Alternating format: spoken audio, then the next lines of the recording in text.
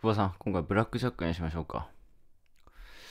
正義、この世にそんなものはありはしないと。うん。深いですね。うん。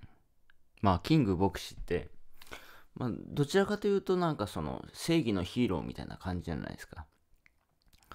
でも正義なんていないと。正義って何なんでしょうね。うん。正義って何なんでしょうね。何をもって正義なのかと。うん。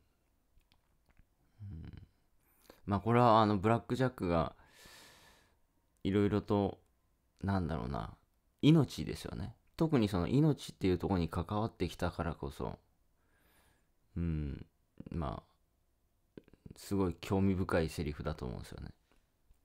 うん。何が正義なんでしょうかね。うん。